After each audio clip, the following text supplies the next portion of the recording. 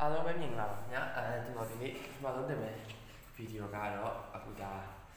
ဒီစာအုပ်လေးပေါ့ John Thompson ရဲ့ EDF Piano Course Part 1အမှကျွန်တော် Unit 1ထဲမှာအဲ download link လေးနဲ့ပေးထားတယ် download သွားဆွဲကြည့်ပါဒီလိုဆွဲမရရင် Viber ကဖြစ်ဖြစ်အမ email ဖြစ်ဖြစ်ကျွန်တော်အမ email ပို့ပြီးတော့ပဲဖြစ်ဖြစ် download ရရင်ကျွန်တော်ပို့ပြန်ပို့ပေးမယ်နော်အဲ့တော့ဒီမှာပထမဆုံးပါလဲဆိုတော့ piano keyboard အဲ မနေ့ကကျွန်တော်မနေ့ကဆိုတော့ပေါ့ကျွန်တော်ဒီကကျွန်တော် group ရဲ့အမှဝင်တဲ့နေရာမှာမေးခွန်းတစ်ခုမေးထားတယ်ဒီ notes တွေကို alphabet ခုနှစ်လုံးနဲ့သတ်မှတ်ထားတယ်ဘာတွေလဲဆိုတော့တော်တော်များများတော့ဖြည့်တဲ့လူတွေမှန်ကြပါတယ်ဒါပေမဲ့တချို့တွေကမသိကြဘူးပေါ့မှားကြတယ်ပေါ့ဟိုမှာ do re mi fa sol la ti do ဆိုပြီးတော့ပြောကြတယ်ဒါမှမဟုတ်ဟိုမှာ do re mi fa sol la ti do အတူကကြီးပြီးတော့ d d r m အဲ့လိုမျိုးရမဟုတ်ဘူးတကယ်ခုနှစ်လုံးစစ်က လက်စတကယ်တော့ကျွန်တော် English alphabet ရဲ့အစခုနှစ်လုံး A B C D E F G အဲ့ခုနှစ်လုံးဟုတ်ပြီနော်အဲ့တော့ကျွန်တော်ဒီမှာရှင်းရှင်းလေးပါပဲစာအုပ်စာမျက်နှာ၄ကနေစကြည့်မယ်စာအုပ်စကြည့်မယ်ဆိုလို့ရှိရင်အမှကျွန်တော်ဒီဒီဟာဒီဗီဒီယိုတွေကြည့်လို့ရှိရင်စာအုပ်တွေနဲ့တွဲကြည့်ပေးပေါ့နော်ပထမဆုံးမှာကျင်တာကစာအုပ်ကမှခင်ဗျာ print ထုတ်နိုင်ရင်ပိုကောင်းတယ်ဘာလို့လဲအပြင်မှာကြည့်ရမှာမဟုတ်ဖုန်းထဲမှာစာအုပ်ကြီးကြည့်ရတာတိတ်အားမရဟုတ်ပြီအဲ့တော့ ဒီမှာ white key အဲကျွန်တော်စာအုပ်ပထမဆုံးစာမျက်နှာလေးကိုစကြည့်မယ်ဆိုလို့ရှိရင်အမှာ white key နဲ့ black key ဆိုပြီးတော့ရှိမယ်တဲ့အဲဒါရှင်းရှင်းလေးပါပဲကျွန်တော် keyboard တစ်ခုကိုကြည့်လိုက်တာနဲ့ရိုးရိုးတော်တော်နဲ့ကြည့်ရုံနဲ့တွေ့ပါတယ်အဖြူခလုတ်နဲ့အမဲခလုတ်အဖြူခလုတ်နဲ့အမဲခလုတ်ဆိုပြီးရှိမယ်အဲ့ဒါကအဖြူခလုတ်တွေကိုကျွန်တော်တို့ရနာမည်တွေပေးထားတယ်ဘာတွေလဲဆိုတော့ A B C D E F G ဆိုတဲ့ alphabet ခုနှစ်လုံးဟုတ်ပြီနော် alphabet ခုနှစ်လုံးအဲ့ဒါကိုမှအခုအဲအဲ့တော့ကျွန်တော်ဒီပေါ်မှာ A B C D E F G ဆိုပြီးတော့ flow တွေအကုန်ရှိမှာပေါ့ အဲရှိပြီးသွားလို့ရှိရင်အမှတော့ဒီအမဲခလုတ်တွေကိုအုပ်စုဖွဲ့ထားတယ်အုပ်စုဖွဲ့ထားတယ်ဆိုတာကဒီမှာဒီ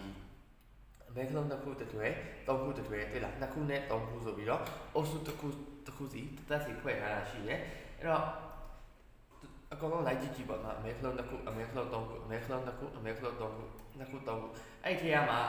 ကျွန်တော် C ပေါ့အဓိကကျွန်တော်တို့ဟို music notes တွေမှာ C ကအဓိက accent ရပါတော့ကျွန်တော်တို့ပုံမှန်ပြောမယ်ဆို do ဆိုတဲ့အဓိပ္ပာယ်အဲ့တော့ဒီ C ကဘယ်နားမှာရှိလဲဆိုတော့သိချင်ကျွန်တော်တို့မှာဒီအမဲခလုံးတစ်ခုရဲ့အရှိက C ကို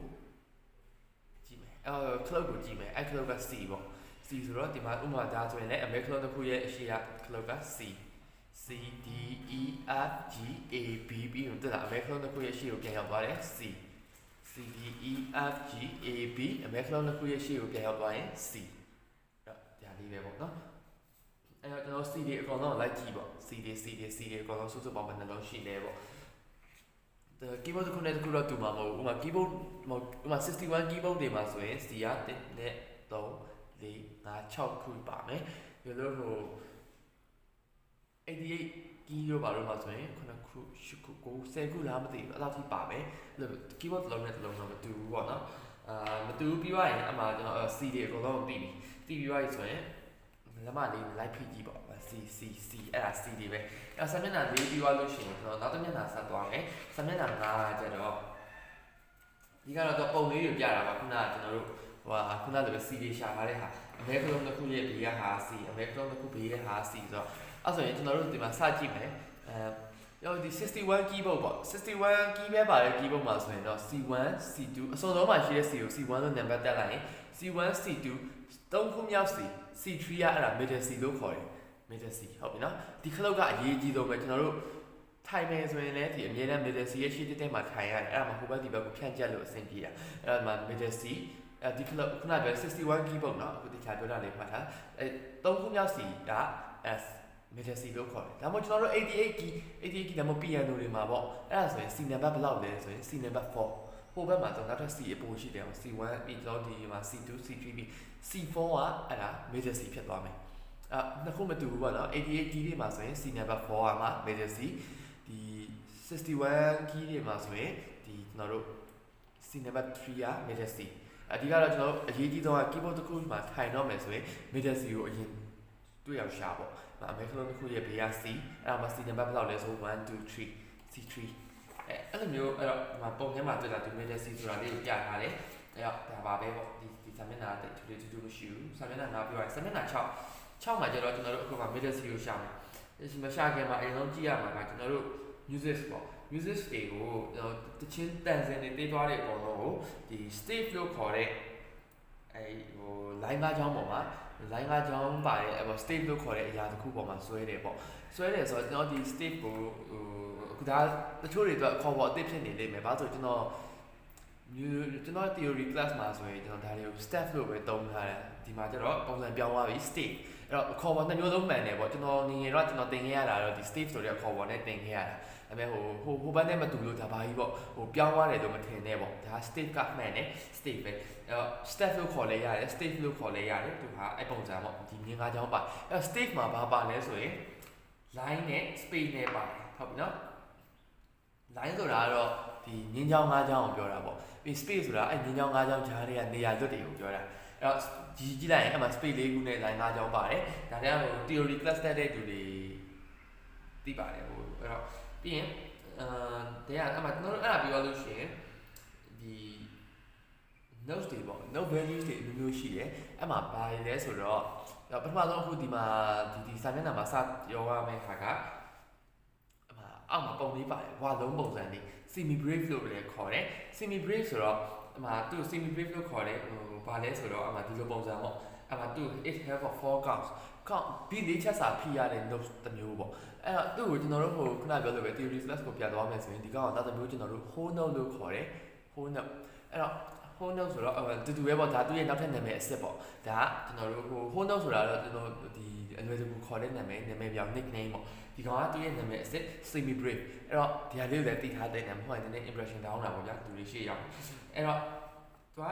whole note နဲ့ဒီခုနပြောတဲ့ဟာ ဟိုနဲ့အတူတူပဲပေါ့နော်ဟို semi brave နဲ့အတူတူပဲအဲအဲ့ဒါဆိုအဲ့ဒီပြီးသွားပြီဆိုရင်နောက်တစ်ခုအမှကျွန်တော် club sign ကြီးလာ club sign မှာကျတော့ဒီသင်္ကေတလေးတစ်ခုရှိတယ်အရှိမှာ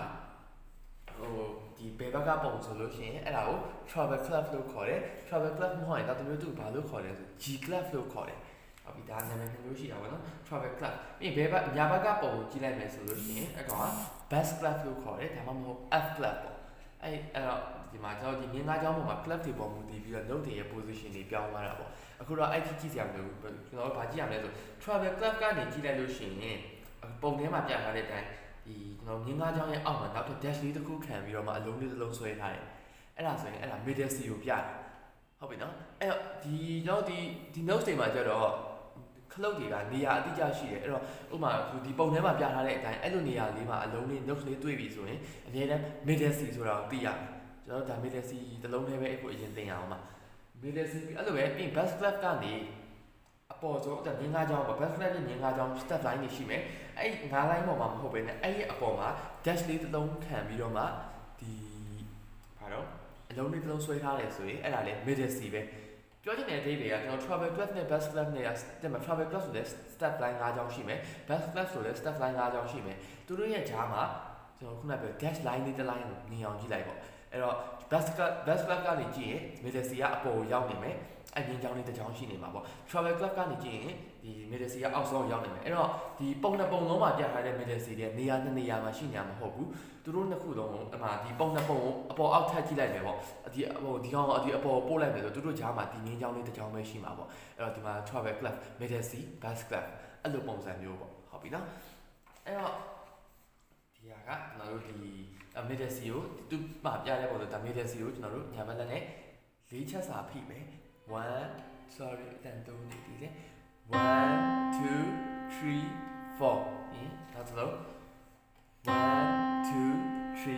4 okay အဲ့တော့ဒီကောင်ကတော့အဲ့ဒါလေးပါပဲပေါ့အဲ့ဒါလေးပဲဆိုတော့အမှအခုစာမျက်နှာ6ပြီးပါစာမျက်နှာခွန်သွားမယ်စာမျက်နှာခွန်ကကြတော့ကျွန်တော်ဒီ users ကိုဘားလိုင်းစင်နဲ့ ဒီမျိုးဒီတဘာနဲ့တဘာတတ်မှတ်ထားတယ်ပေါ့တတ်မှတ်ထားတဲ့ဆိုဘားလိုင်းဘာဘာဘာပုံမှန်ဒီပုံမှန်ပြထားတဲ့အတိုင်းပဲပေါ့နော်ဒီကျွန်တော်ဒီဘားလိုင်းဒီအမှဒီ line လေးနဲ့တတ်မှတ်ထားအမှဒီတဘာတဘာမှာကျွန်တော်ပြီးဘယ်နဲ့ချက်ရှိလဲဆိုတော့တွက်လို့ရတယ်အဲ့ဒါပြီးတော့ရင်ဒီကျွန်တော်တို့ဒီ club sign တွေခုနပြောတဲ့ club sign တစ်ခုရှိတယ်အဲ့ကောင်လေးရဲ့နောက်မှာကျွန်တော်တို့နောက်ထပ် number လေးတွေပါလာတတ်တယ်အဲ့ number တွေကဘာတွေလဲဆိုအောက်မှာပြထားတဲ့အတိုင်း4434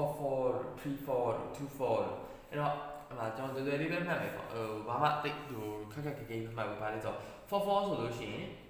ခုနပြောရတယ်ဒီဘာတဘာဘာလိုက်နေဘာလိုက်နေဘာလို့တတ်မှတ်လဲဆိုတော့ဒီတဘာမှာပြီးဘယ်နှချက်ရှိလဲဆိုတော့တတ်မှတ်ချင်လို့ပေါ့ခုနပြော44ကိုတွေးလို့ရှိရင်ကျွန်တော်တို့ဘာတဘာစီမှာ1 2 3 4 1 2 3 4အဲ့လိုယူသွားမှာပေါ့အဲအခုဒီ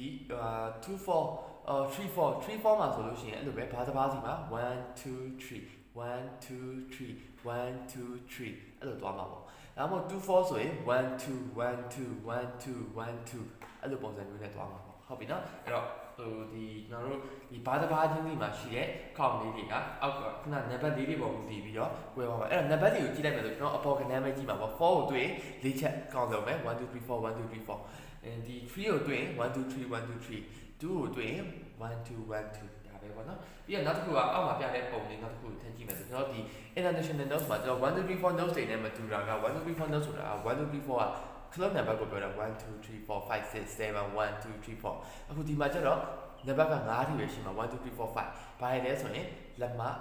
1လက်ညို2လက်လေ3လက်တကြွယ်4လက်တန်း5 1 2 3 4 5ဘယ်ဘက်လက်လဲတူတူပဲ1 2 3 4 5 လက်ငါးချောင်းဟုတ်ပြီနော်အဲ့တော့ဒီနေ့ဒီဗီဒီယိုကတော့ဒီလောက်ပါပဲအဲ့တော့ဒါလေးကိုတစ်ချက်အရင်ကြည့်ပေါ့စာအုပ်လေးနဲ့တွဲကြည့်အဲနားမလည်တာရှိရင်ကျွန်တော်ပြန်မေးလို့ရပါတယ်အားလုံးပဲတတနောက်ဗီဒီယိုတစ်ခုမှတွေ့ပါမယ်